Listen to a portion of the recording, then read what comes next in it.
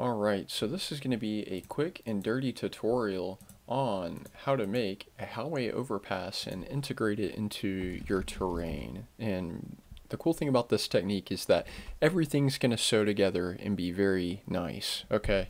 Um, and we're not going to have a ton of excess vertices or um, faces, etc. from not using this technique. So we're going to start with a 512 by 512 by 64 height brush, right? Drop down to the 64 grid and press enter. And I like the ground to be right below the blue line horizon. So we're going to do that. And then we're going to make two more copies going this way. Make sure I got my node draw on so we can see. There we go. Now, I'm actually going to make a copy of this ground. We're going to go, um, we're going to go 256 above, which is approximately right there.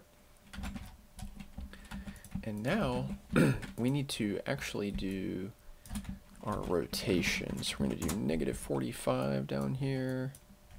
I'm going to hold Alt, click, and drag that brush so that the vertices are approximately on where it needs to be.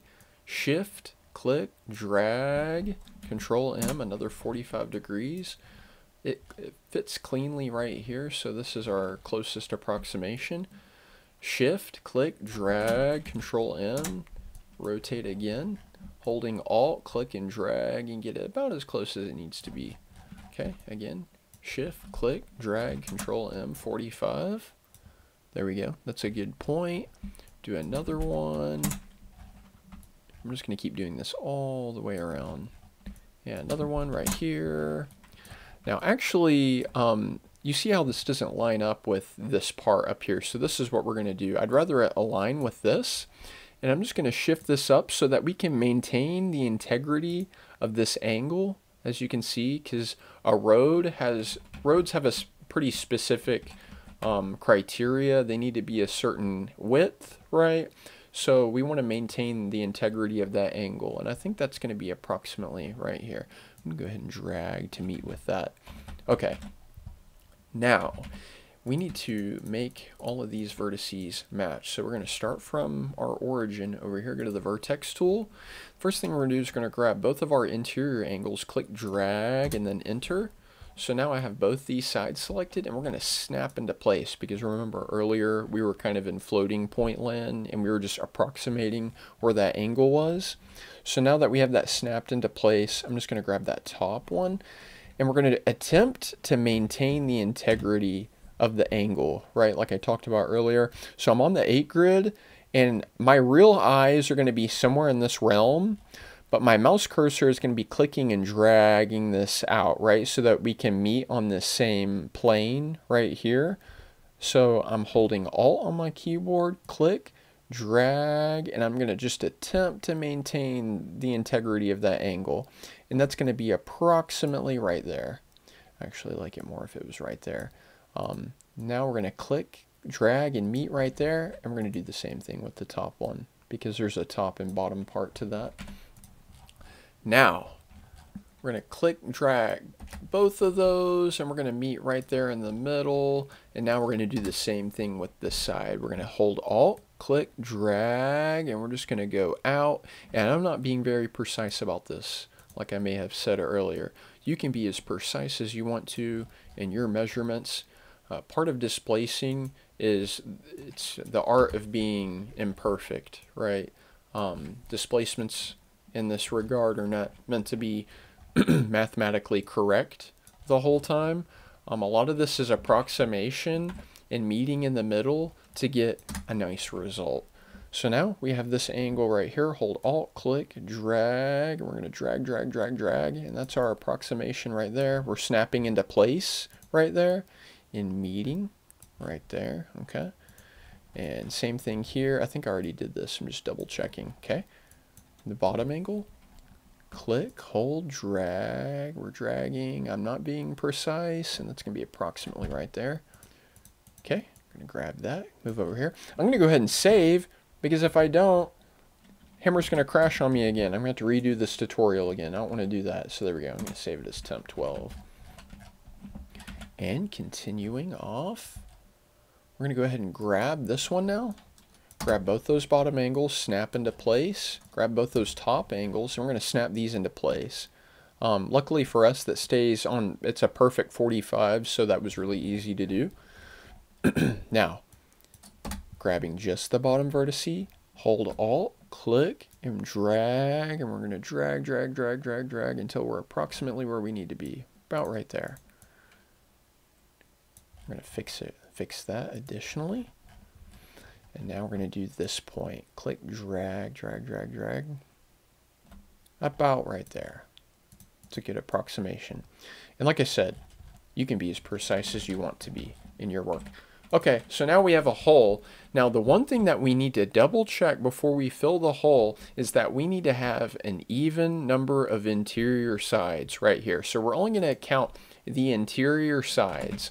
We got one, two,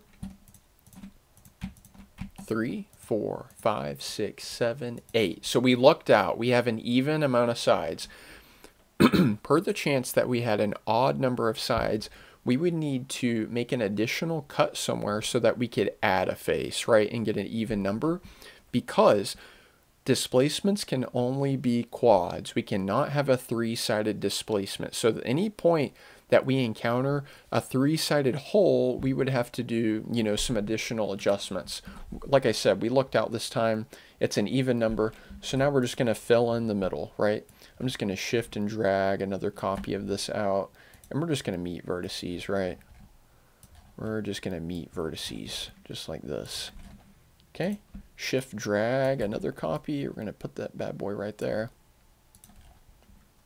And we're just going to meet over here. Attempt to make all of these approximately the same size. It doesn't always work out that way. Sometimes you kind of have to have a wonky shape displacement to fit the hole. And sometimes that's just how it is. So that's going to be that's going to be our best bet right there. Okay. So now save again. Now to see what we're doing, we need to actually, we need to pick our road texture. So I'm going to go ahead and type in road. And we've got these nice Left 4 Dead textures. I'm going to pick the SS bump because SS bump looks nice. Rotate 90. Change our texture scale. And do 0.5 by 0.5. Hello. Keep going off there. There we go. Do bottom left. Alt right click, click, alt right click. Okay, now we need to do the bottom part. So um, the easiest way to do that, alt right click below. And we're going to click on that interior face, alt right click, alt right click, alt right click. And we're going to do that all the way around so all these meet up. Alt right click, alt right click. All the way around.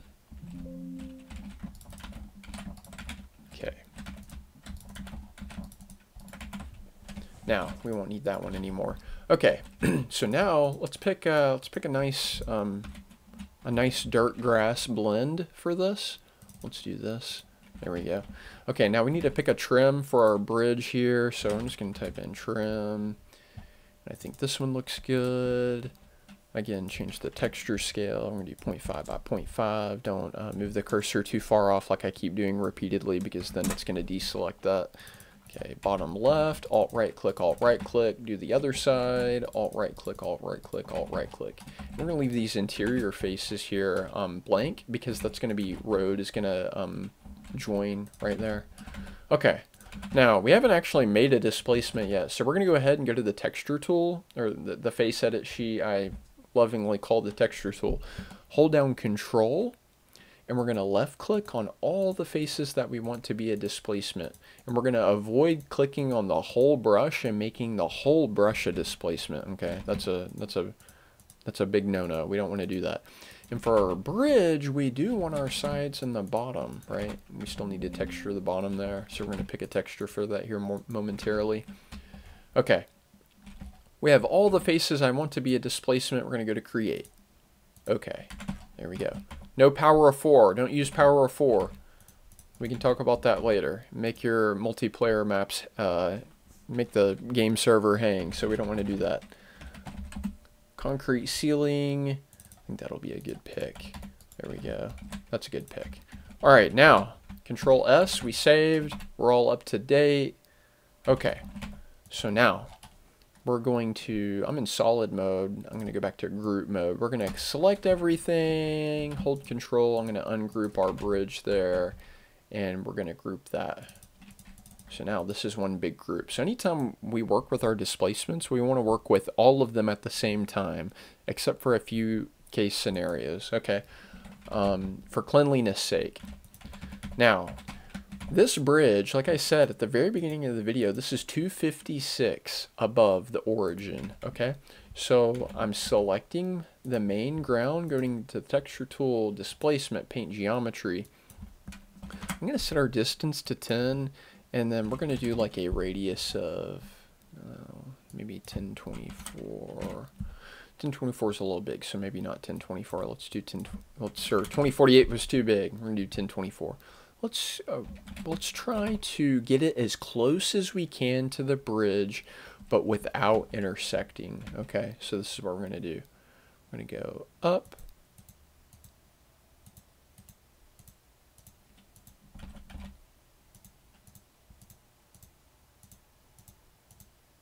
And we're just approximating this about as high as we can go, right? Without clipping, right? Good approximation. Yeah, right there. I think I think that's the money right there. And then we're going to give this side some love.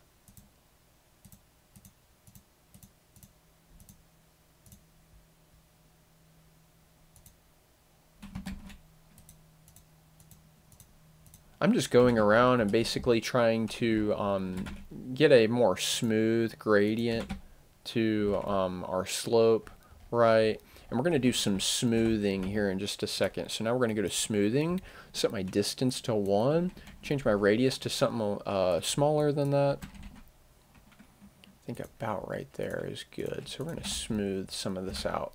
Because this, this road is um, basically undrivable at this point cars would be sliding off the road because the angle is too um, steep on the sides. Roads are very specific, right? Um, roads have to be a certain, there has to be uh, a certain gradient. There, the slope can't be too sharp.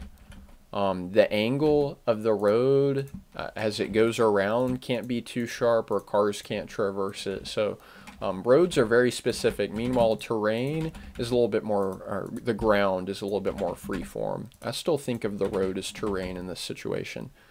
And we're just going to do a little bit more smoothing. There we go. I think we're getting really close. And that I think that's our I think that's our ticket right there. I think that this road is um, I think you can drive on this road now and there's not going to be mass cataclysm or wrecks, right? I think that's about right. So now, the most important part, we need to adjoin this, right? So the first thing I'm going to do is we're going to do raise to 256. I'm going to set my radius to something small like 128 and we're going to meet right here. And that ground's going to clip, but that's okay because we're going to fix that here in a second. We're going to meet every single point. Okay? Now, let's go to smooth one. Let's see, let's change that to about 256. And we're going to try that one more time. There we go, I think that's about right. Now, we're going to go back to raise 2, 256 again. So radius down to 1. And we're going to meet these points right here, just these points. There we go, so we're perfectly aligned with that bridge. Okay. In fact, Oh, we're off slightly. 256. Make sure. See, very specific. You can be off by one unit and it will be wrong. In this situation, we have to be very precise. Okay. Now, we don't care about these displacement faces right here because they're not really that important. They're really just for the bridge, right, in that situation. So we don't really care what's happening in here. Um, you could call that mashed potatoes displacement work if you want to, um, but I don't I don't think it is. I think this is very clean, good looking work. Now, now that we've done that, um, I want some grass because I don't want all this to be dirt. So we're going to go to paint alpha, raise 5, value 32. I'm going to turn off grid there so we can see a little bit better. And we're just going to paint some grass in. Maybe I don't want grass directly touching the road because um, inner city grass may not be growing quite as plentiful. Um, I think that's good. And historically, I've seen overpasses. It seems like this part is usually some kind of concrete or cement. So I'm going to pick a cement texture and put that right there. I think that that looks um, acceptable. Now, the next part, we're going to go ahead and group that group that together. We're going to group everything together, actually. Ungroup and group. Now, let's say I want to do a copy of this. So I'm just going to shift drag that, do a 180, and now we need to meet this stuff in the middle. We can go to a big fat grid to make it easy to align. And we're actually going to go in one, and then we're going to delete the extra copy that we have here in the middle. Go to solid mode over here, delete, delete. There we go. So now everything should be good. Now, we're going to go back to group mode and select everything, ungroup, regroup, and then we're going to sew. There we go. And our work is done. Uh, aside from actually a couple of other things, now that I think about it. Let's give the bridge a slight, let's give it a slight raise in the middle. I think it will make it look visually more interesting. We might do like something like 10, right? Oh, I have these inverted. Sorry about that. Do something like that. So right there in the middle, I'm going to turn my grid back on so I can see what I'm doing. I'm going to click. Now, you never click and hold with displacement work, and maybe I haven't said this the whole time. You only want to click, right? If you click and hold, you're going to cause mass cataclysm. Okay, so we're just going to click once in the middle. Boom. And just like that, we have that very, very slight gradient. I can do Control Z and Control Y to kind of show you. In fact, I really don't even... I think that was probably the wrong tool that I just used. We're going to try that one more time. Yeah, I did raise too instead of raise lower. So make sure you're on raise lower. There we go. That's the money. That's what we wanted. That's it. Make sure you're on raise lower. Now, our roads are looking kind of octagonal, right? One, two, three, four, five, six, seven. Yeah, octagon, right? I'm just going to select the road in this situation. It's the only thing I want right now is just the road. I'm only selecting the road faces, okay? And then we're going to go to displacement. We're going to go to subdivide. There we go. That just rounded out our corners a little bit and make things look nice. Now, remember earlier when I said I wasn't being very precise about my work? If you're being more precise, then we can account for um, kind of uh, distortions like these that happen when we're in floating point land and not being super precise. So you could be more precise with your work and that would look improved compared to what we're doing right now. Now, the next thing, typically I like to subdivide our terrain too. Um, not going to do the cement piece. We're going to leave that the way that it is. Do subdivide. Okay. Now we're going to select all those pieces, or actually we're going to select everything and we're going to resew right there. Okay, because that, that concrete that concrete base right underneath the underpass is going to be our home base, so we don't want to distort that necessarily. Again, we're going to subdivide right here, select everything, resew. Okay.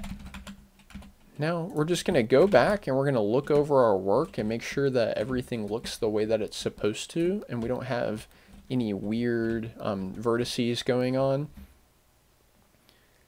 And then at that point, our map is basically done. And that's it. Now compile it and go drive around in it and have some fun.